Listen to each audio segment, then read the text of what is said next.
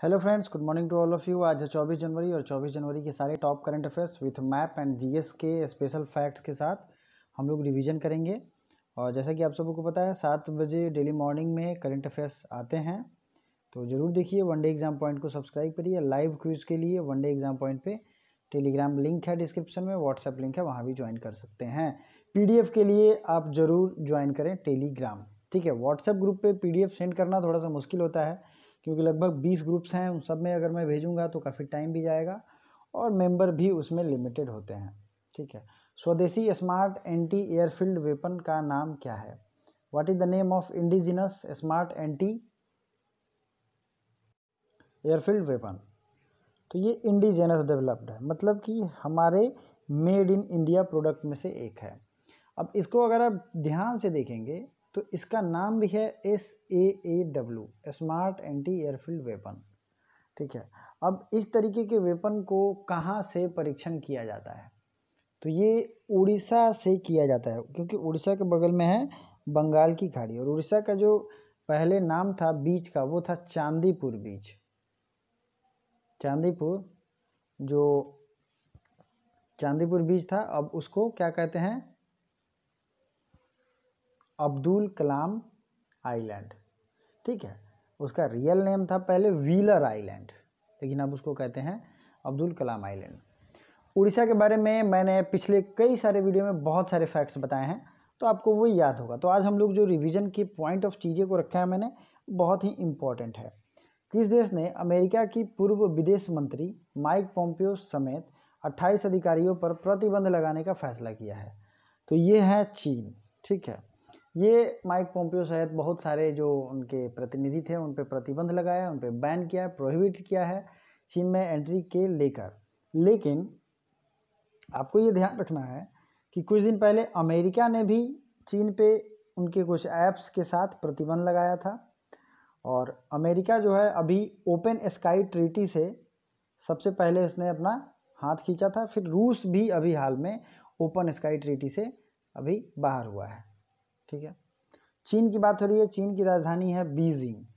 और यहाँ की जो करेंसी है, उसे कहते हैं युवान युवान का एक और नाम है rain may be R E I N M E B I rain may be. ये एक अलग नाम है युवान का। ठीक है? चीन के प्रेसिडेंट हैं सी जिनपिंग सी जिनपिंग और यहाँ के राष्ट्रपति हैं।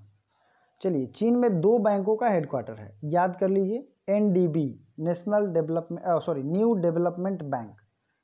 NDB का हेडक्वार्टर कहाँ है? बीजिंग में। और ये न्यू डेवलपमेंट बैंक क्या है? आपने सुना होगा न्यू डेवलपमेंट बैंक का नाम, जो कि ब्रिक्स बैंक के नाम से भी इसे जानते हैं। ब्रिक्स बैंक मतलब Brazil, Russia, India, China and South Africa. ये ब्रिक्स है। इनका जो कंपोजिट बैंक था, उसको कहते हैं ब्रिक्स बैंक। इसका हेडक्वार्टर कहाँ है?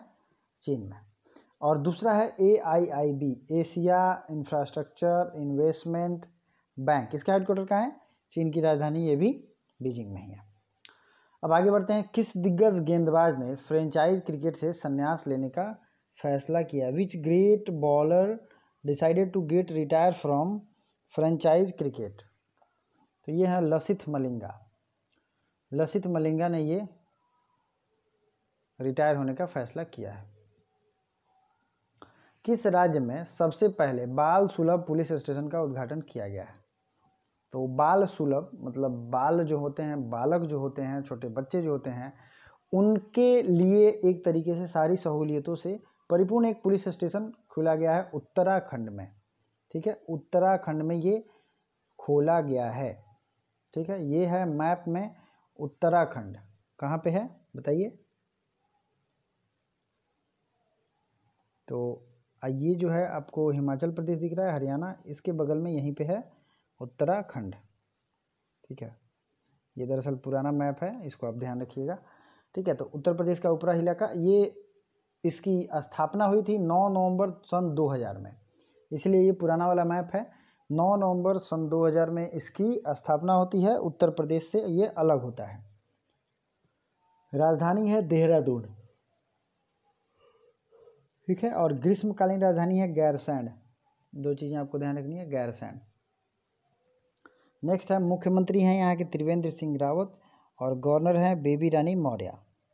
मुख्य न्यायाधीश है राघवेंद्र सिंह चौहान और दो पड़ोसी राज्य कौन कौन है? हिमाचल प्रदेश और उत्तर प्रदेश। अब देखिए इंपॉर्टेंट चीज़ें जो हैं, उसको एक लाइन से याद रखने से रिवीजन करने से फ़ायदा ये होता है कि जब भी एग्ज़ाम होगा, वो तुरंत दिमाग में क्लिक करता है। तो वीडियो को लाइक भी कर दीजिए और जितने भी लोग अभी लाइव देख रहे हैं, वो जो भी मैं पूछूँ, उसको कमेंट भी कर सकते हैं। तो नेशनल पार्क यहाँ कौन कौन है? तो नंदा देवी राष्ट्रीय उद्यान या नेशनल पार्क ठीक है? राष्ट्रीय उद्यान is considered as a national park in English जो भी इंग्लिश स्टूडेंट हैं, वो please don't be scared with this type of Hindi Nanda Devi national park है। 1936 में ये सबसे पहला भारत का नेशनल पार्क बनता है। गंगोत्री नेशनल पार्क ठीक है? फूलों की घाटी the valley of flowers national park Raja ji national park Govind Pashu Vihar भी है यहाँ पे। क्या नाम है इसका? गोविंद पशु विहार। और सबसे ऊँचा बाँध जो है, ये है टिहरी बाँध। तो ये भी है भागीरथी नदी पे। टिहरी बाँध कहाँ है? भागीरथी नदी पे। गंगोत्री और यमुनोत्री जो है, यहाँ पे स्थित है। गंगोत्री और यमुनोत्री। नंदा देवी पर्वत कहाँ है? उत्तराखंड में है। चिपको आंदोलन कहाँ चलाया गया था? तो चिपको आंदोलन आपने नाम सुना होगा, जिसमें लोग पेड़ से चिपक के उसे काटने से रोकते थे। तो ये भी आंदोलन चलाया गया था उत्तराखंड में। ठीक है? और आगे देखते हैं, केंद्र सरकार ने जम्मू कश्मीर के किस नदी में 850 मेगावाट के पावर प्रोजेक्ट को लॉन्च किया है? Central government permitted on which river in Jammu Kashmir 850 megawatt power project तो ये है चेनाब।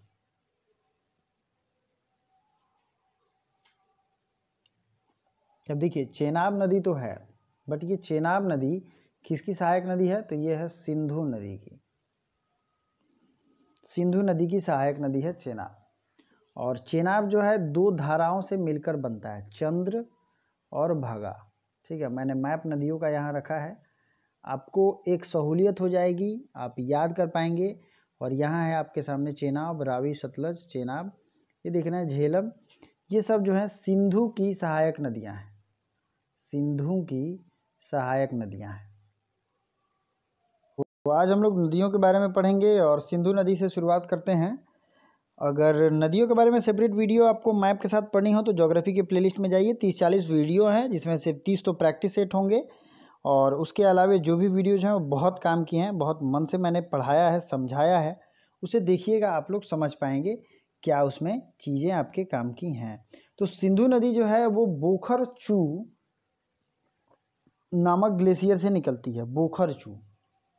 जो कि कहाँ है? तिब्बत के कैलाश पर्वत के पास है। मतलब मान के चलो कि आप कैलाश माउंटेन से सिंधु नदी निकलती है। ठीक है, उसके बाद ये आप नोट कर लो।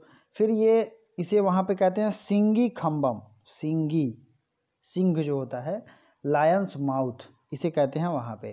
फिर ये लद्दाख एवं जास्कर रेंज के बीच में आप ये जो लाइन देख रहे हो, ये दरअसल सिंधु नदी की ही है। तो लद्दाख इधर है और जास्कर नीचे है। इनके बेंच से होकर गुजरते हुए गिलगित जम्मू कश्मीर में एंटर करती है। फिर ये दर्जिस्तान के पास पाकिस्तान में भी चली जाती है। इसके कई सारे ट्रिब्यूटरी हैं। ये जो छोटी छोटी चीज़ें आपको दिख रही हैं, ये इसकी ट्रिब्यूटरी हैं और सहायक नदियाँ हैं। Shyok Gilgit these are the rivers of these are the tributaries of Indus river ठीक है, इनमें से मेन मेन आपको याद रखना है। जैसे कि झेलम के बारे में मैंने बताया।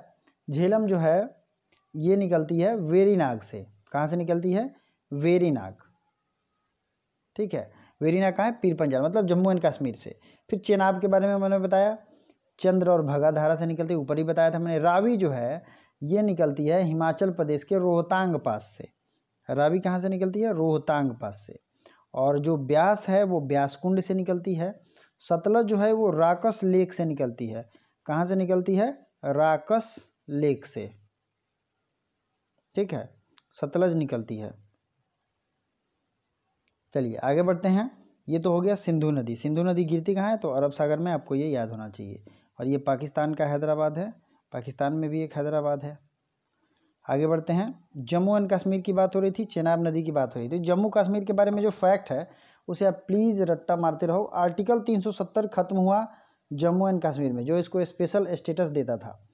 उसके बाद जम्मू कश्मीर एक केंद्र शासित प्रदेश बन गया और लेह लद्दाख जो है केंद्र शासित प्रदेश बन गया। 31 अक्टूबर 2019 से जम्मू कश्मीर की शीतकालीन श्रीनगर राजधानी बन जाती है। और ग्रीष्मकालीन कौन सी राजधानी है? तो शीतकालीन है जम्मू और ग्रीष्मकालीन है श्रीनगर।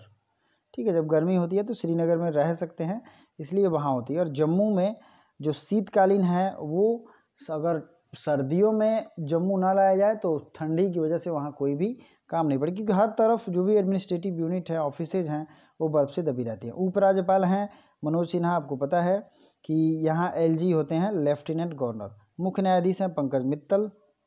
बूलर झील भारत की सबसे ताज़े पानी की झील है, जो कि सबसे बड़ी झील है। श्रीनगर डल झील के किनारे स्थित है, प्रमुख झील है डल झील। नागिन झील, गार्डन, अनंतनाग झील, वेरीनाग झील और थोड़े से नाम इसमें गड़बड़ हैं झीलों के। शेषनाग झील, वेरीनाग झील, ये झील है। झील की जो मैं वीडियो दिखाता हूँ मैप मैंने जो दिखाया है कौन कौन से झील हैं उन पर उसे आप ध्यान रखिएगा, ठीक है? ओके। अगला है भारत की, सॉरी, ग्लोबल रिस्क रिपोर्ट 2021 किसने जारी की है? तो वर्ल्ड इकोनॉमिक फोरम, आपने नाम भी सुना होगा, वर्ल्ड इकोनॉमिक फोरम, इसने इस रिपोर्ट को जारी किया है, जिसका हिंदी नाम है विश्व आर्थिक मंच। और ये जो है वर्ल्ड इकोनॉमिक फोरम, इसका हेड क्वार्टर कहाँ है? Davos, Switzerland.